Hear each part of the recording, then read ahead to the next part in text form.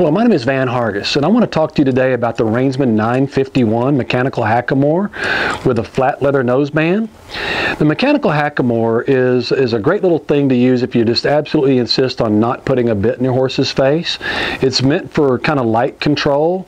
Um, I'm not a big fan of using hackamores to actually do any training with, but for horses that are going along pretty good or for a novice rider, um, this is not necessarily a bad apparatus to go with at all.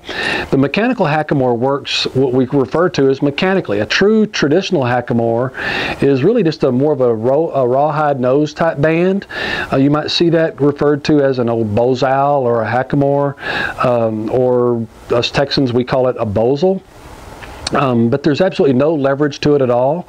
On a mechanical hackamore, we actually do have leverage. And what that means is because of the shank, as we pull back on the rein, you can see the shank here rotate through the noseband.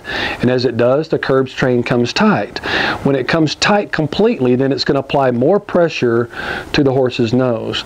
Now this one, because it's not rope and it's a nice wide noseband, it's not going to apply a lot of pressure, but it is going to apply a significant amount of pressure to the horse's nose just enough to kind of get his attention. So again, this might be something that you would use with a fairly novice rider that didn't know how to ride all that well, maybe a little bit rough and bouncing with his hands, and to avoid the horse the discomfort of having a bit flopping around in his mouth.